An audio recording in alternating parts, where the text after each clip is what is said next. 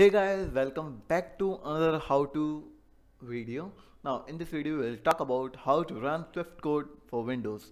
So for that you can go to swiftforwindows.github.io and from there you can download this package, download it and once it is downloaded you can go to Swift for Windows 2.0 to uh, you can also say 2.0 and just hit enter and once you hit enter it will ask you to install it click on yes and saying that Swift for Windows already installed it's a normal installation package and once you go with it now what you have to do uh, just open uh, click next and nothing else. I'm just going to quit and here you can open this file.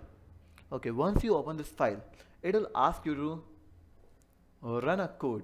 Okay but before running a code, you do need to compile the code first. And now those who don't understand what is a compiled language or what is a, an interpreted language, let me tell you that Swift is an compiled language. It means कि अगर हिंदी में समझे तो Swift एक compile language है जो क्या करेगा आपका यहाँ पे एक हमारे पास एक ट्रांसलेटर है अब कंप्यूटर में ट्रांसलेटर दो तरीके से हो सकते हैं कंपाइल्ड या इंटरप्रेटेड अब जो कंपाइल्ड क्या करेगा यहाँ पे आपने कोड लिखा ठीक है अब जो कंपाइल क्या करेगा, इस कोड को पूरा ऑल एट वंस फिर इसको ऑल एट वंस को कंप्लीटली रीड करेगा, उसके बाद आपको आउटपुट देगा। और अगर आपके पूरी फ़ाइल में एक भी एरर आता है तो ये आउटपुट नहीं देने वाला। सही है? और इंटरप्रेटेड में क्या है कि आपने ये पूरा अपना कोड लिखा तो ये लाइन बाय लाइन तो इसको आउटपुट देता रहेगा।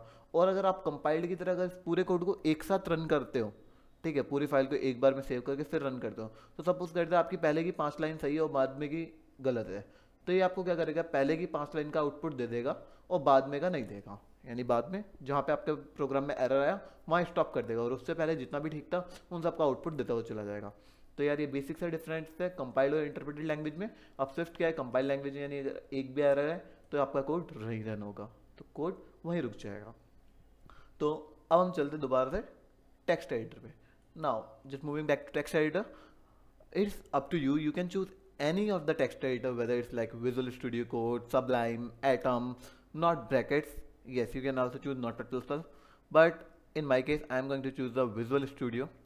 Okay let me say Visual Studio Code. Okay. So once you open Visual Studio Code uh, wait for a while. Okay here it is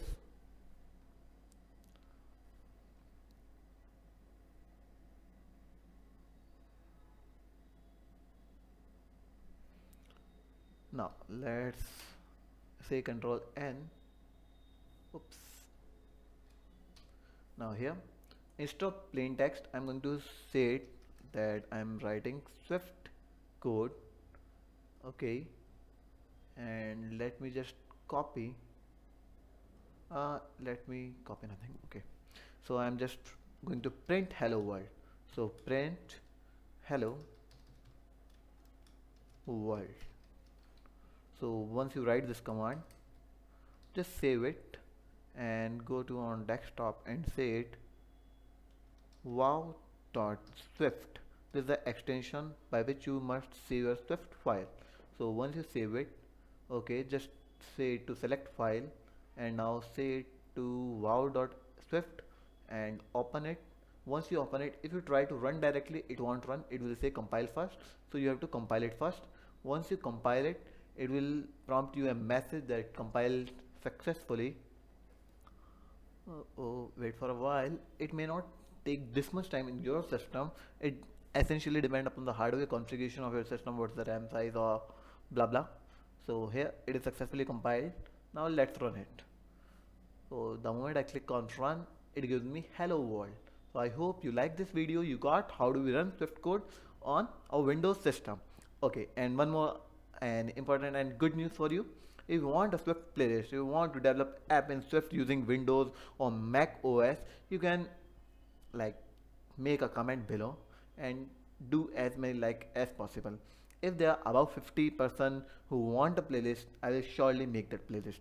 So if you want a playlist on Swift, इसका मतलब अगर आप भी Android like iOS application बनाना चाहते हैं तो आप comment कीजिए उसे लाइक करवाइए इस वीडियो को शेयर कीजिए और हम डेफिनेटली वो प्लेलिस्ट बनाएंगे that's it. Bye bye.